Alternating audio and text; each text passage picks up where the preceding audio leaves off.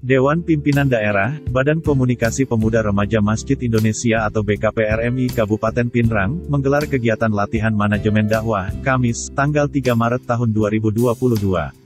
Menurut Ketua DPD BKPRMI Kabupaten Pinrang, Sulaiman Ansar, yang dihubungi melalui aplikasi pesan singkat, Jumat, tanggal 4 Maret tahun 2022, kegiatan ini adalah sebuah kegiatan yang masuk ke dalam agenda kerja DPD BKPRMI Kabupaten Pinrang.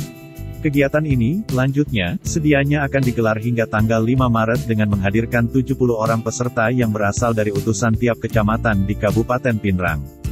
Kegiatan ini, dibuka langsung oleh Bupati Pinrang, yang diwakili oleh Asisten Pemerintahan dan Kesra, Haji Aswadi Haruna, yang juga dihadiri oleh Ketua DPW BKPRMI Provinsi Sulawesi Selatan, Haji Hasid Hasan Palogai.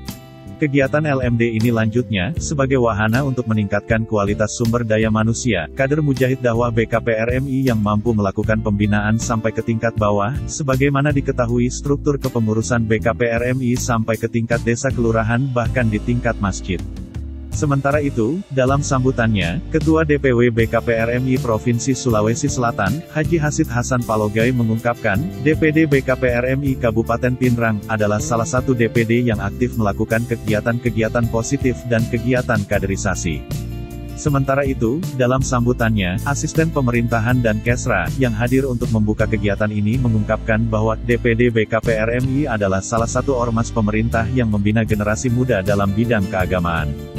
Hal ini lanjutnya, menjadi salah satu kekuatan pemerintah Kabupaten Pinrang untuk mewujudkan masyarakat islami. Kegiatan ini juga dirangkaikan dengan rapat pimpinan daerah, untuk menetapkan program kerja DPD BKPRMI Kabupaten Pinrang di tahun 2022.